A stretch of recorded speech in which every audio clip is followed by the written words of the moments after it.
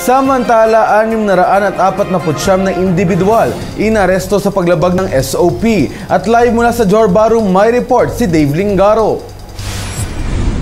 Yes, ka-partner. Arestado ang 649 na individual dahil sa paglabag sa ipinapatupad na Standard Operating Procedure o SOP ng bansa.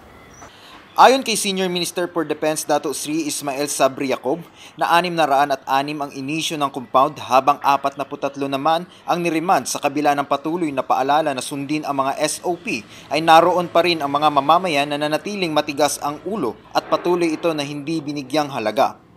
Sinabi ni Ismail Sabri na 230 katao ang nakakulong dahil sa hindi pagsuot ng face mask, 151 naman sa hindi pagsunod sa social distancing. 75 sa mga entertainment center, 67 sa kabiguang magbigay ng kagamitan sa pag-screen at 143 para sa iba pang mga pagkakasala.